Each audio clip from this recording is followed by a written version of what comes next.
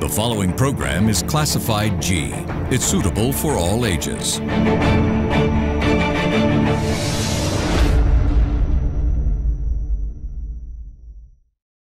We would like to remind our viewers that the views expressed in this program by our participating guests are solely viewpoints of them who take part and does not reflect the views and beliefs of the Derana Media Network. This is an opinion based program. This is Ada Derana 24 tonight. As a nation, we are in the cusp of another election, be it the presidential or a general. Once again, citizens of the country will get an opportunity to select the path this nation should lead to. Will we be embracing the similar sentiments of security, economy and development or will the nation be looking at modern issues that are ravaging the world like climate change, migration and brain drain? The two-party system in the country has only brought a mediocre level of growth to the nation in the past 70 years since independence where one party wants the country to be self-sufficient and the other to be more liberal.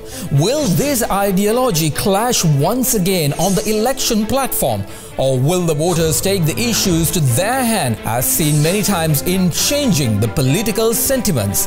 Tonight, my panel to discuss the way forward is Dr. Charitha Herath, who is the senior lecturer at the University of Peradeniya and the former secretary to the Ministry of Mass Media, and Dr. Paikiasothy Saravanamuttu, who is the founding executive director at the Center for Policy Alternatives and a member of the Foreign Policy Advisory Group. Welcome to Monday. It's time to get real.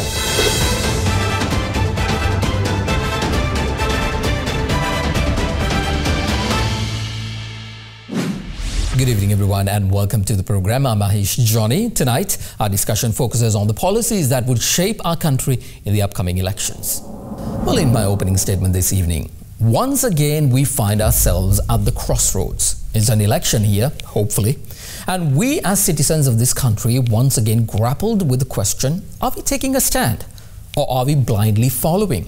The election that's supposed to take place is a presidential election. Due to the 19th Amendment being played, President Maithripala Sirisena's first term is coming to an end after five years in power. In 2015, remember those buzzwords that resonated all across the nation? Remember the word Maitri Palana or good governance or even the 100-day revolution? That was five years ago and here we are taking stock of things.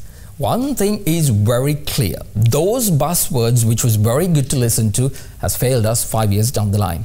The promised economic renaissance has now become somewhat of a dud, and more so, we've even failed at securing our nation. Yes, there were some achievements as well. So here we are once again, hopefully given the power to choose. I'm sure you would have heard time and time after to choose wisely which would ensure the country's future prosper is prosperous for everyone, like Bernie Sanders says, not just for the 1%. Thankfully, we do have options. We have the conservative option in the form of the SLPP and the SLFP, led by former President Mahinda Rajapaksa and current President Maithripala Sirisena. And then there's the Liberal UNP that's led by Prime Minister Ranil Wickremesinghe. While we wait hopefully to see who the candidates of these respective parties are going to be and what their policies are, we as a nation need to decide whether are we going to continuously follow blindly or whether are we taking a stand and telling our leaders what the issues really are and what solutions we are seeking? What would be your decisive factor in selecting a candidate for the upcoming elections? Um, I think we had too many people who care about themselves more than the country. So I'd uh, love to see a person, young person from our generation come up and uh, who actually would do something for the country instead of doing for themselves. I think that's what we need in uh, the upcoming election. Someone young, yeah. When the previous government is done the corruptions, this uh, they say uh, this is Yahapalne, but you can see there is no Yahapalne anymore. Good governance there is we, we can't see. So we want change, but real change. Not like that last time we uh, does that uh, 2015. We need actually change. Since uh, the Easter Sunday attacks, security would be a prime concern because that directly links to the economy as well. Because we are also very tourism-based, uh, tourism plays a huge role in our economy. So because of that, security is a prime concern. And of course, development and forward thinking. So I think a leader who is less corrupt even though it's very um, not most politicians are. Um, but yeah, less corrupt person who is for democracy and will push that, and also no favoritism. You know, you'll put the people who are correct for the jobs in the right places, or maybe employ professionals to actually figure out solutions and to incorporate them into the policies. Number one, uh, the, the, the, the country. We, are, we need someone who is really concerned about the country. You know, the, without the country, there is no election, no people, no one, nothing. Nothing we can do without. First, we should have the, our country. We safeguard our country. So we should have a person who is concerned about the country first. So this is the type of person that we expect. We, I expect. I seen in Sri Lanka, this politics is a business, right? It's whatever. These people don't care that anything. They care only the money. Politicians should be educated people and uh, they have to understand whatever because uh, not uh, not only the education actually they have to think of the country and the nation actually we should have one leader actually the now situation we have so many leaders the leader should be a, should be a one leader. Oh, I think uh, national security is the most considered factor when it's come to the uh, deciding factor when uh, selecting the president. economic and uh, securities uh, in the country. Uh, the last 70 odd years, no political party has done anything to this country. They have taken the maximum out of our country, our people, and not given anything to the country. So the, the last government or the present government has done nothing, right?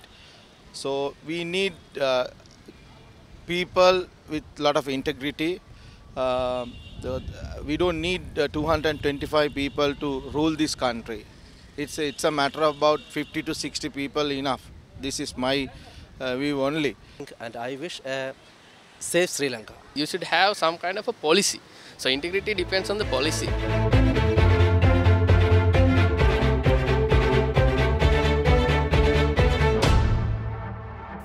Let's get more perspective on that subject. Uh, joining me now are uh, heavyweights, if I may say, in the policy-making decisions. Uh, I ha today have with me Dr. Charitha Herath. He's the senior lecturer at the University of Peradeniya and he was also the former uh, secretary to the media ministry. Welcome, sir. And also, uh, on the other hand, is um, Dr. Paikiasothy Saravanamuttu. He is the di executive director of uh, the Center for Policy Alternatives uh, here in Colombo um, and has been very uh, participating in terms of policy decisions with this government as well. So, gentlemen, thank you very much for joining us uh, on this program. Um, if I may start with you, Dr. Paikiasothy, um, like I said, you were very instrumental in getting the 2015 uh, government's agenda. Uh, you've been contributing towards it. Now, five, almost five years down the line, are you happy with what they've done so far? Well, yes, I'm happy with what they've done so far. What I'm very unhappy with is their inability or their unwillingness to communicate this to the country at large. I'm happy with the 19th Amendment. I'm happy with the RTI legislation, to name two things to begin with. Each one of those has important consequences for government, for the direction of governance in this country, but it hasn't been communicated sufficiently. Or take, for example, the mechanisms on transitional justice. They have far-reaching consequences. But people don't know enough about them. The space has been vacated for those to distort, to spin what these things are about. And so, therefore, the other side is leading the debate. So, what you're saying is they've done it, but they did not say it? Well, they've done some things. I'm not saying that they've done everything. They've done some things, they haven't talked about them, propagated what the consequences of those things are, and they haven't explained as to why they haven't done what they haven't done. But that is not exactly the same sentiments uh, with the public if you go and speak to anyone and ask them um, about the Yahapalani or the good governance. Yeah, as far as the general public are concerned, Yahapalani is a thing of the past. It has been totally discredited by this government, and that's a great shame because there are things that they can point to, there are things that they can take credit for, but they've missed the bus, as it were, as far as that's concerned. I don't know whether an election campaign will galvanize them to get in on the act, but they haven't paid sufficient attention. And they haven't, you see, the thing is this, you know, if you are talking about a reform agenda, the only way you're going to fulfill it is if you carry the people along with you. And that's what this government has failed to do. If I turn to you, Dr. Uh, Herath, um, what is your take on this? Has this government been able to fulfill every single thing that uh, they, not every single thing, but at least like 80% of what they said when they came to power in 2015? Well, I don't think so. Actually, the main argument that this government or the group of people who were helping this government to come to power were raising was mainly the democracy and the democratic space to be developed. I think uh, even beyond the economic and uh, development kind of reasoning, the people who against who went against the previous regime was arguing for bigger democracy and better democracy and enhanced form of democracy of the country. But what I think and what uh, people could see today has a huge uh, issue on that particular matter. Now, for example, uh, as we all know that the one uh, way of uh, looking at democracy is uh, allowing people to decide on governing. Now, democratic system is defined as a system uh, that uh, governed by discussions, governed by decisions of the people. But this government has continuously tried to uh, postpone all the elections which came after 2015 like they had to go for the general election in 2015 August. After that, even one and a half years were late for the uh, elections of uh, local governments. Then that government, that, that election, that, that the results of that election was shown that the government decision was not taken by the people.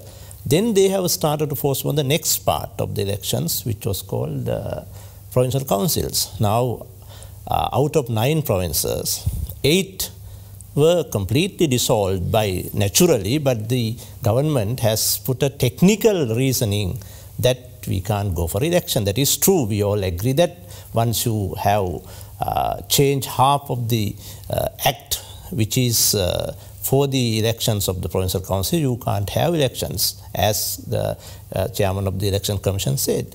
But now this this this particular point itself shows that the intentions of the government, though my friend, my learned friend, uh, Sarah said that there was some development, I also would agree uh, with regard to this uh, RTI Act.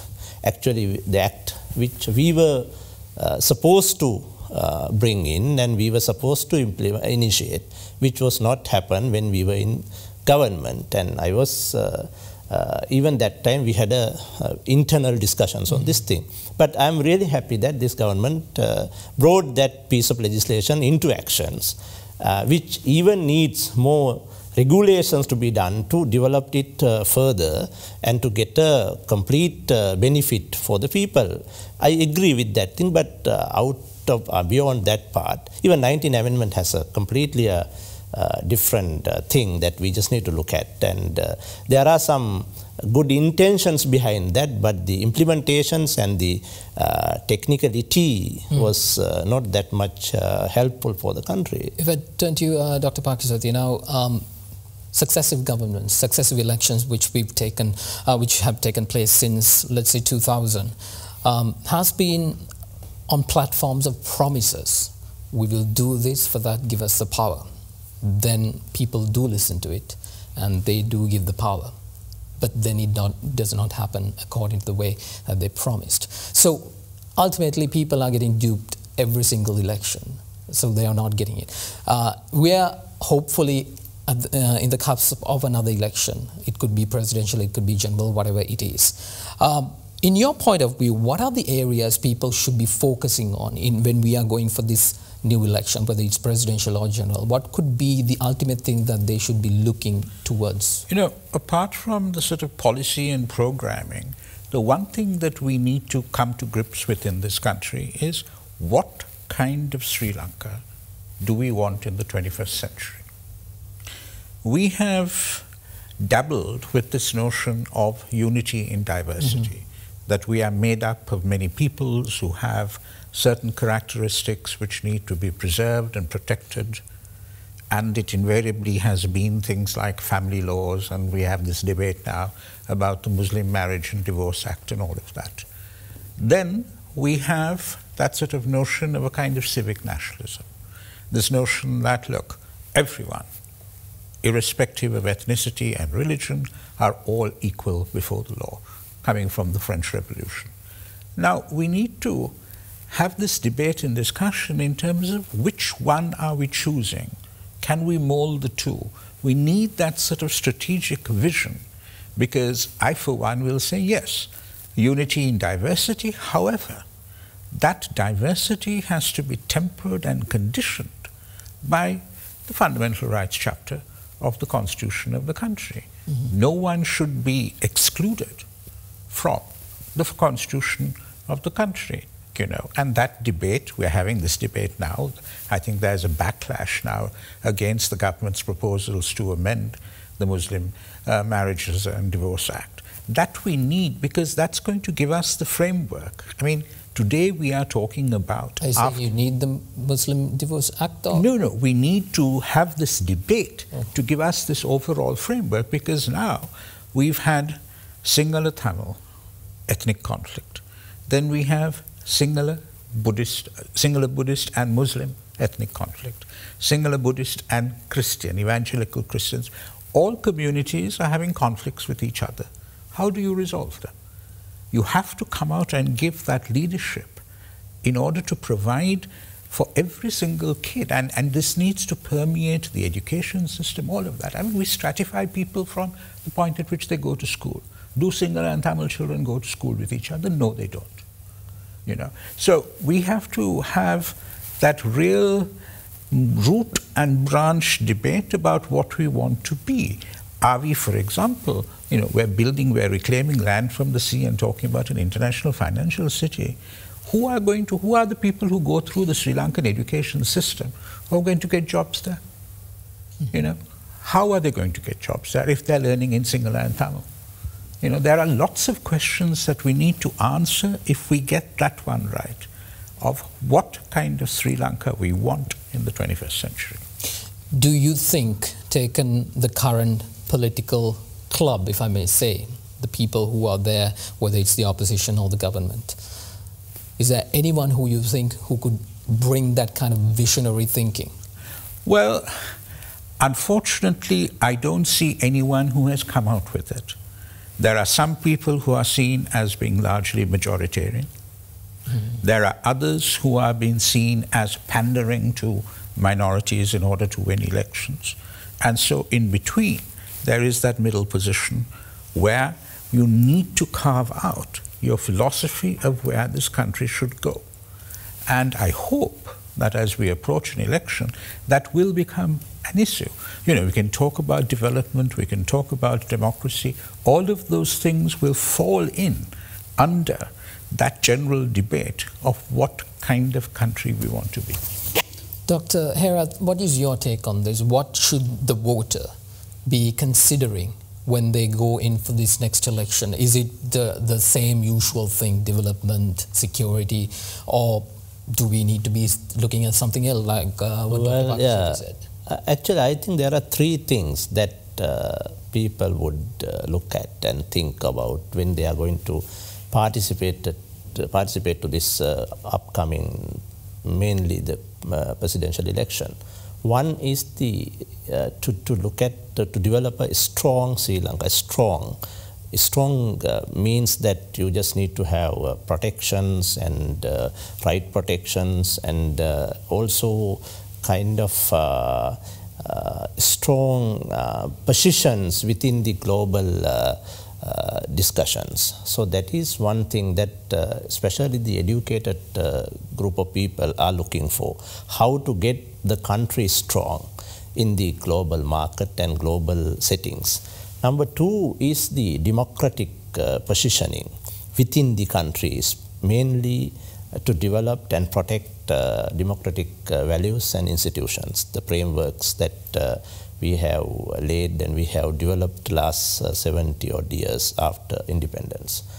And uh, including uh, the um, way of governing and way of selecting, electing people's um, elections as well. And thirdly, how to get a wealthy uh, position for the country, uh, economically sounded, wealthy positions. These three things are, are uh, coming as a uh, different packages of one main uh, set. Uh, so I think uh, these are the main areas that the parties should look at when they are forming their policies. Strong positions of the country from the global settings and the democratic uh, protections of the democratic values and institutions and uh, the uh, economic developments for the country. If I may ask, uh, that is from the part of the political parties when they're bringing up their manifestos and their election promises. What should a voter, let's say the, the Generation Z or, or the ones who are actually coming, the youth vote block, what should they be looking at? Because all these big words is not resonating with them but but words like free Wi-Fi or, or, or you know um, gym equipment is, is, kind of resonating. So how can the younger crowd or, or the voter what are the things they should be looking I, at? I think even I have asked this question from my students who are uh, coming to my classes at university. Actually, they they don't care about the parties and they don't care about leaders and, and things like that. They think that uh, what they want is to uh, go to a good uh, kind of uh, environment where they could be able to get good jobs.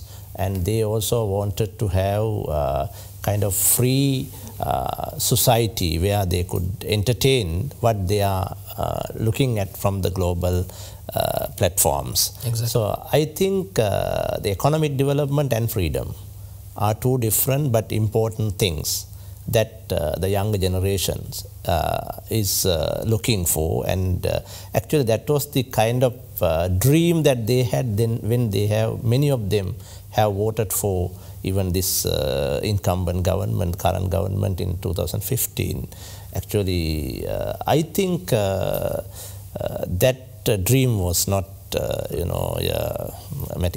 And that was a dream uh, then, and today it was a, it is a dream. Yeah. Well, uh, once again, if I uh, ask from you, Dr. Paikiasothy, um, in terms of the economy, um, we were promised a lot of things in 2015. We're going to have this economic renaissance, um, lots of jobs, lots of foreign investment. Uh, it's not the case right now.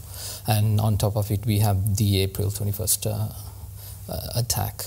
And now, um, but we have the recipe to become a very developed nation. We have the resources. We have, have all that in the country. So whatever the um, political party may be, what type of economic policy do you think should they be thinking when we're going into the future? Look, we have the economic potential to be extremely prosperous and be a hub and all of those things. But we aren't. Why? We have 1.5 million public servants, some of whom are doing absolutely nothing. It probably is more economic to pay them to stay at home. We are an aging population, which means that in 30 years' time, we won't have a demographic dividend. Yeah? We already have, I think two years ago or three, the government conceded that there were 25,000 illegal migrant laborers in this country and some of them are working in paddy fields. They're from the rest of South Asia. If the government concedes 25,000, double it. So we have another problem there in terms of no farmers' children want to be farmers. Mm-hmm. Indeed. Right? Then we are talking about reclaiming land from the sea. Who is the kid who is going to go through a Sri Lankan educational system and get a job other than as an office assistant in the international financial city? I don't know. I honestly don't know. Those days they used to come to Galle Face to look at the sea. Now they'll come to look at another country. Mm. This is a recipe for disaster. We have to take root and branch reform. And in order to do that in a functioning democracy, you have to carry the people along with you. You can't do elections by saying, look, when we come to power, we're going to give 10,000 rupees more to every public servant, and we're going to add another 10,000 to the public service roster. It doesn't make sense, you know. So we have to come to some kind of economic consensus. You know, for years and years and years since 1977, we had a rough consensus in this country that the executive presidency should be abolished. Do we have a consensus with regard to any aspect of the economy? We should go for that. You know, we have now because there's more freedom than there was before, we have strikes every other day. What are they striking about? What is their vision of the future? You know, so we have to come up with a policy that addresses the real problems that we have. And only then can we proceed. And it is root and branch. We have to start with the education system as well. I mean, these are long term things. Look, English is the international language in the world. What is the situation with regard to the teaching of English in Sri Lanka? It's pathetic. You know, so there are tough decisions that have to be made. There is the other argument, uh, like countries when you go to Germany, uh, Japan, or, or, Western nations, they celebrate their own language and ensure that English not, is not that kind of That's nonsense. Today you go to Germany or to Japan. In Japan, on the streets of Japan, in the undergrounds in Japan, you have train stations, etc., marked in, in Japanese and in English. And in Germany, in France, anywhere in Europe, they talk to you in English. 25 years ago, that may not have been the case. But, I mean, look, 1.5 billion or whatever Chinese are learning English. Indeed. Well, that's a very good point to take a short commercial break. We'll be right back right here on Get Real. Stay with us.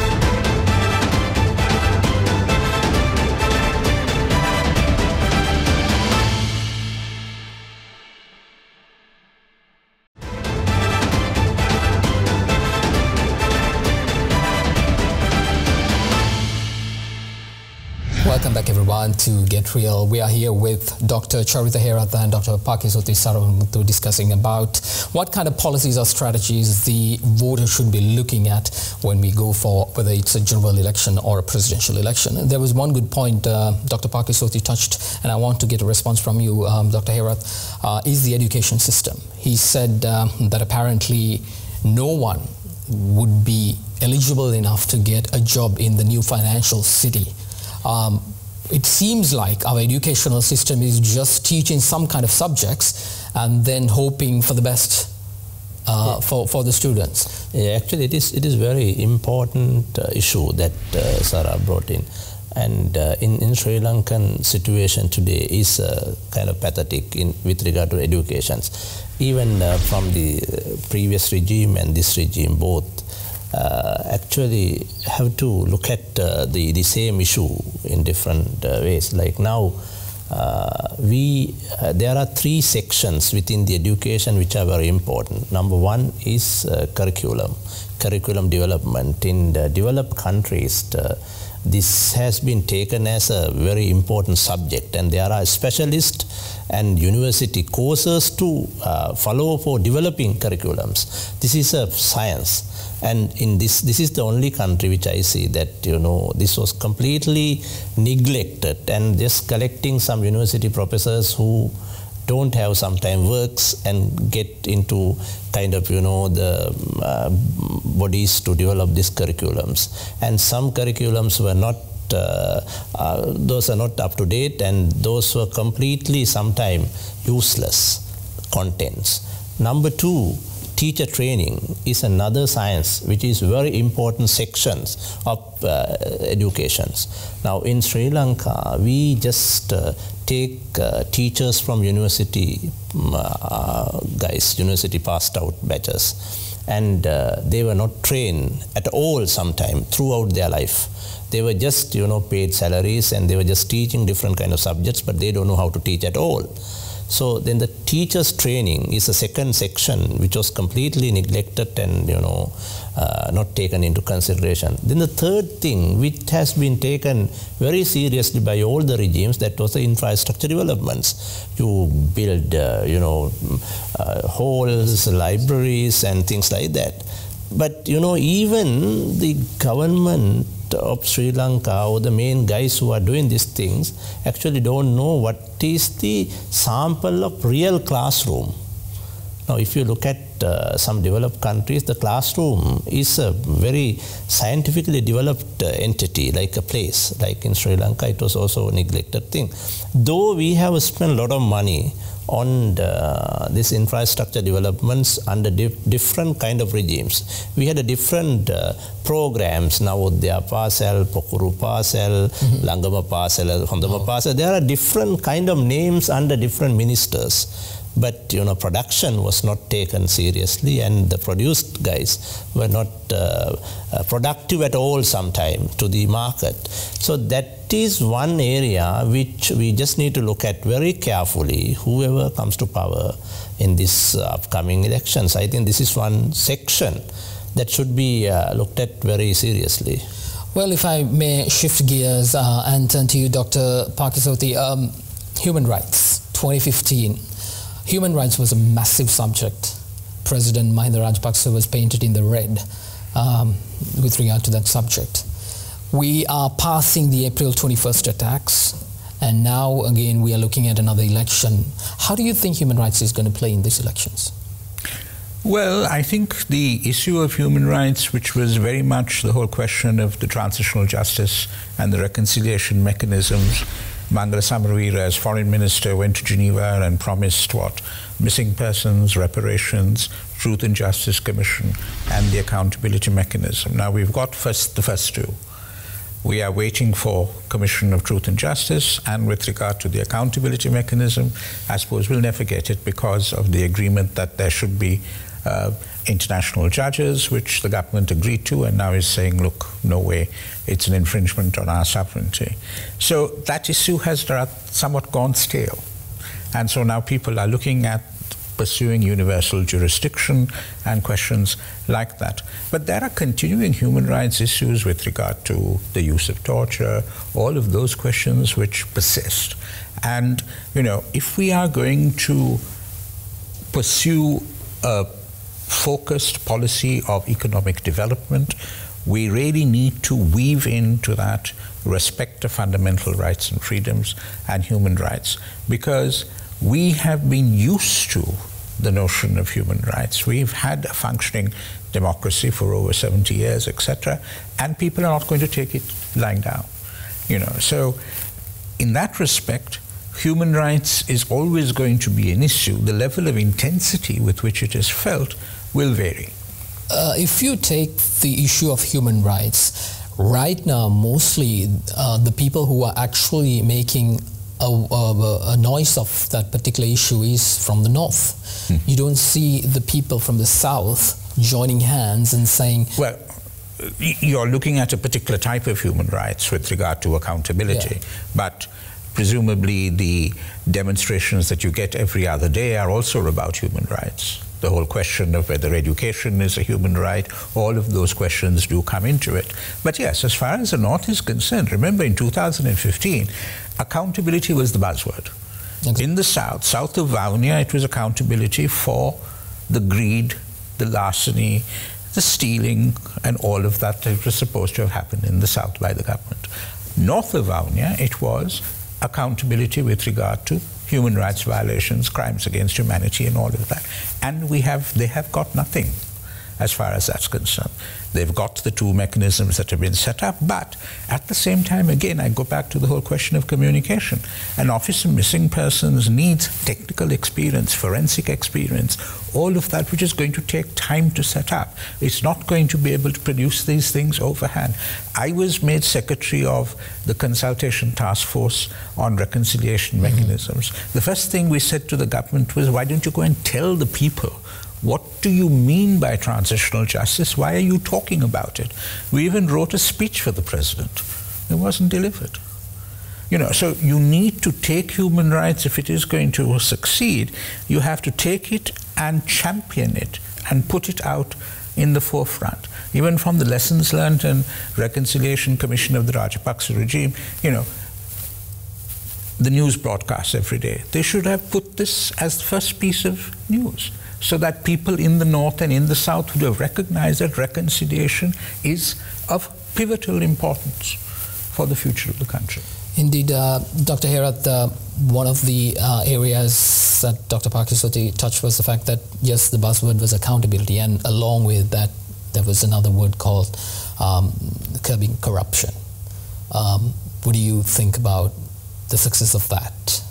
Well, yes, but let me let me let me add a little bit uh, what uh, Sarah said on this human right thing. Now, actually, uh, there's a one one main mistakes that I think uh, some of the Colombo-based civil society um, personalities were bringing in with regard to uh, human right issue in this country actually we all have to agree that there are some universal universal agreements and universal stands on on this uh, human right thing. But the same way we just need to look at the contextual grounds of the given situations and country. I think uh, the liberal argument on human rights and reconciliation was not uh, successfully achieved in this uh, country due to that cultural reasons. I think we just need to look at how could we uh, engage after whatever the 30 years war in this country and what what are the kind of tools that we just need to look at not from the textbook liberal peace processes or not from the uh, kind of technicality of UN systems, but from from one, uh, one from the ground. Actually, that is one thing that we just need to look at. I'm not saying that we don't need human rights or we don't need the universal kind of agreements. We need to know, we need to have. That is true, but at the same time, to have a kind of productive engagement in this sector, you just need to look at the cultural and contextual readings of this whole thing than just the global kind of interpretation, number one. Number two, uh, that is true that this uh, uh, corruption issue has been a big issue of this country from last 70 odd years and uh, and also meritocracy like lack of meritocracy in in many different sections uh, including uh, members uh, the position of the members of parliament so like uh, we just need to look at how we could develop a merit based society and lack of uh, corruptions. These two areas are still areas to be engaged from whatever the government that is going to come. Uh, in one of the dailies, you wrote an article which says next president, a talker or a doer. Um, what did you mean by that? Exactly? Actually, it was it was kind of like in Sinhala. It was very interesting thing that in 2015, uh, I think uh, uh, the main argument became from uh, political reasoning than the economic reasonings. Like in Marxist uh, uh, theory, we have two reasonings. One is the economic reasonings, which Marxists argue that that is the um, ground and uh, they thought that that was the turning ground of uh, whatever the society, human society.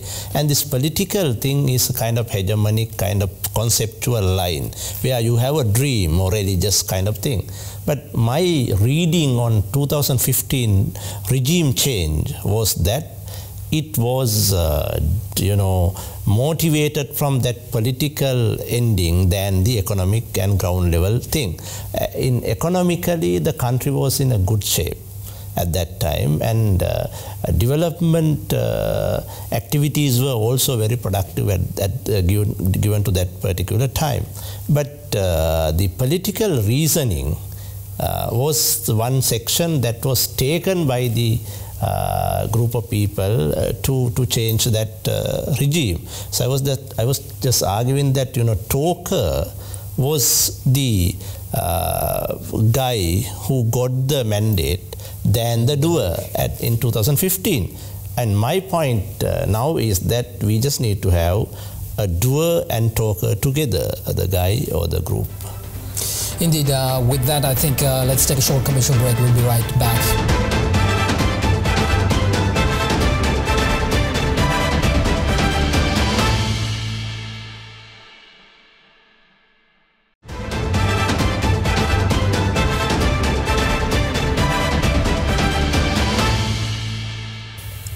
Welcome back, everyone, to Get Real. We are here with Dr. Charitha Herath and also Dr. Paikiasothy Saravanamuttu. Dr. Saravanamuttu, if I turn to you, um, ask you about the 19th Amendment.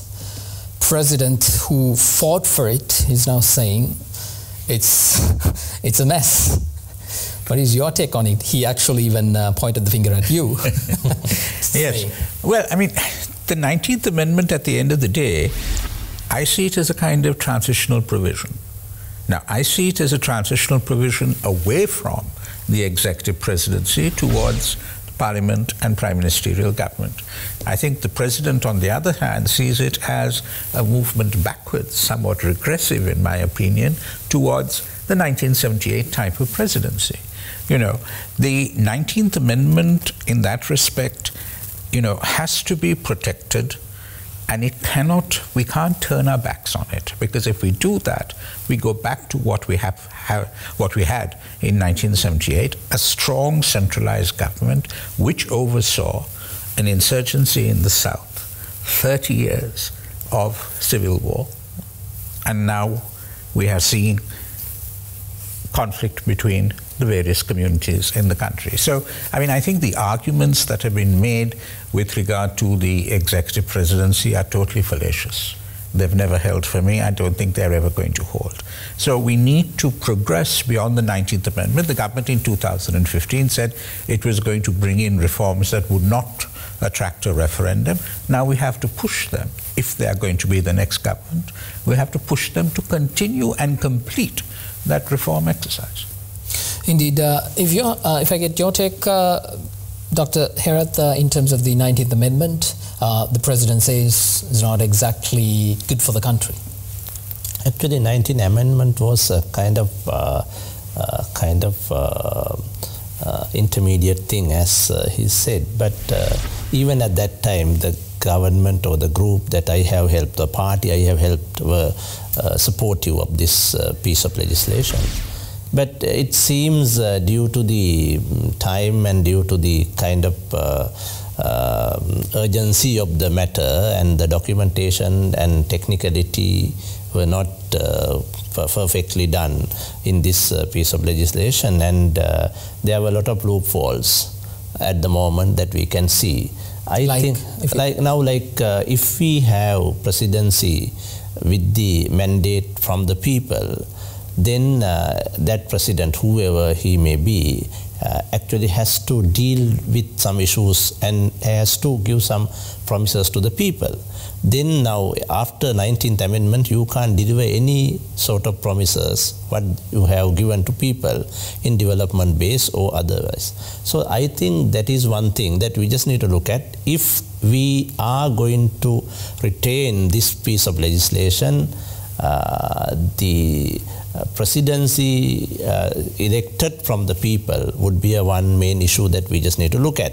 Number two, uh, the culturally whether we are um, we are mature enough to take this prime ministerial kind of government is another thing that we just need to look at.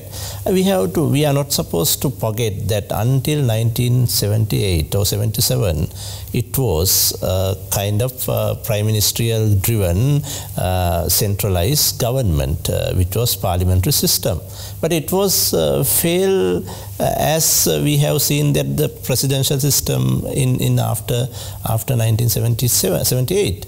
So uh, it was not due to the system, it was due to different other reasons that we failed. I think uh, if we, I'm even, even in this prior presidential systems, there were some uh, there were some positive uh, uh, signs, positive points that we could look at from the history, even Jayawardena's time. I think uh, what we need to do is to take a clear position whether we are going to have uh, the presidential system which elected from the people. Uh, then you just need to arrange accordingly. If not, you have to leave it completely out. Uh, for that, you have to get a mandate from the people from, I mean, through a kind of referendum, which could be done. Then you have to do that kind of complete changing from the positions of 1978 constitution to a new one. But in between would make a completely a mess, which uh, I don't know what uh, President it's, mentioned. It's exactly where we are right now. This is this is a real ex- example for that. So, uh, Dr. Paikiasothy, you you advocate to getting rid of the executive executive presidency, yes. And, and your reason behind is? Is that the executive presidency consolidates power in one office, and as a consequence, you can't do very much in terms of, A, for a start, devolution and better governance, because everything is in the hands of one particular individual. And I don't think that is good for democracy at all. We need to move towards a parliamentary system where we can develop more checks and balances, mm. you know, and, you know, prime ministerial government with PR. What we had before was first past the post, and you had a two-thirds majority in 1970 and a five-sixth majority in 1977. That we can't allow. Uh, if I may shift gears, I don't know whether you gentlemen have been uh, watching the U.S. presidential debates of the Democratic Party. Um, the candidates were debating even uh, in two days, and uh, the main things that they talk about, just uh, talking about global threats, is climate change, hmm. Russia, and also nuclear threats. Now, this is on a global level. So, uh, if I ask from you, um, Dr. Paikiasothy, um, if you take new um, climate change, we are a country that is getting battered by climate change. And yet we do not see our politicians or our leaders at least remotely talking about it or, or, taking any kind of stand on it. It's just when it rains, uh, it floods, okay, we will give some kind of this thing and that kind of uh, attitude. So going forward, what kind of policies do you, should we be thinking about this? Of course, we should be thinking about it. I mean, how many ministers have banned plastic bags? Yes. Or the silly, silly bag, or whatever you call it. How many ministers have done that? But they're still being used. Now, why? Is it because there is some sort of corruption behind it? Is it because of governmental inefficiency? So we need to tackle those things. If we tackle those things, the others will fall into line. The subject area of climate change and environment, I don't think you need a technical solution per se to that. One needs to look at that governance framework and clean it up at that level. The rest will follow. Dr. Herath, uh, this president is an environmentally friendly president. That's how he pictures himself. Yet we do not see clear-cut policies on climate change and things that is adversely affecting communities in this country. So going forward, what is your take on that? Well, actually, it is a very important issue. And I, when I was uh, chairman of the Central Environmental Authority, I was actually dealing with some of these issues uh, very seriously. In my uh, opinion, Sri Lankans uh, intervention to this discuss, discussion was uh, productive, good, uh, due to, I mean, if relative to some other countries of the region. Uh, but there are some uh, lacunas and lapses even at the moment. Uh, one, actually, with regard to environment, there are different kind of uh, areas that we just need to look at. Many of the issues are uh, societally driven and solutions are technically driven and decisions are politically driven. So then you can't get uh, all these three sections together. Right. Like, you know, the responses are coming from the people and uh, answers are developing or should be developed in the uh, kind of, you know, technical um, uh, areas and uh, the decision should be taken by the politicians. So then sometimes things are getting mess. Uh, but uh, still, uh, but the second thing, as you said, that global engagement to Sri Lankan uh, politics has now come from a different end. Now the regional, Indo-Pacific regional political engagements are very serious things that we just need to look at. I think due to the reasons of the mismanagement of the region by this current government, uh, now Chinese, Indians and Americans, interventions and interest uh, now were completely focused on this region.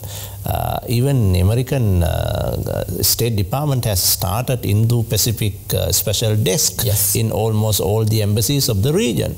So uh, we, the government of Sri Lanka, now we are dealing with three uh, countries uh, by using three different parts of our our uh, uh, our, our uh, what is that called this our, our, foreign policies now like in Japanese, Indians and Chinese intervention to this section uh, is very important to be looked at. Like I mean, I think this this government uh, did not take those areas very seriously, and they were just thinking about how to make some foreign currency by using you know whatever the facility that they have.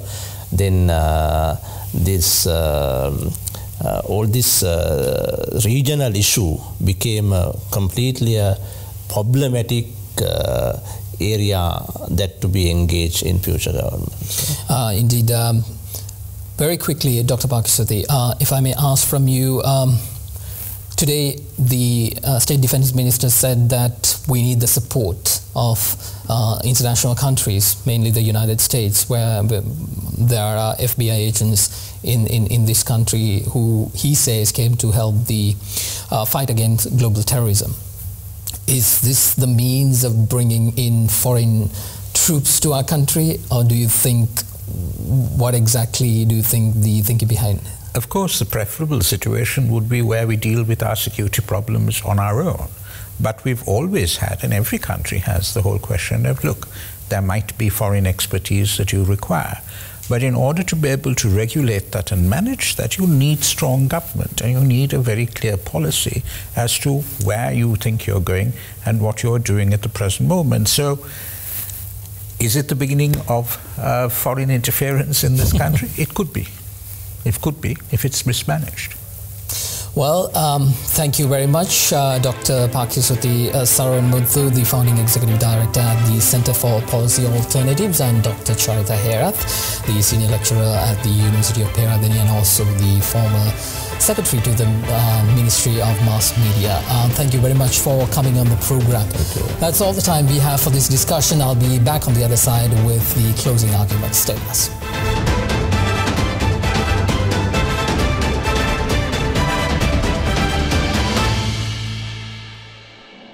Well, by this time, it's quite evident that the upcoming election, be it presidential or general, it's going to get very ugly very soon. We will, of course, have the front row seat to that ugliness, where candidates will continue to sling mud and prioritize that over policy or strategy. It's up to us to continuously educate ourselves and more so ask the questions from the people who are vying for the top job to ascertain as to what their beliefs and ideologies are for the future of this nation. Remember, most of us felt that we were let down in 2015. That is the sentiment that's mostly out there, whether you look on social media or speak to anyone. You have this resounding anger that the leaders who came to change failed to change themselves.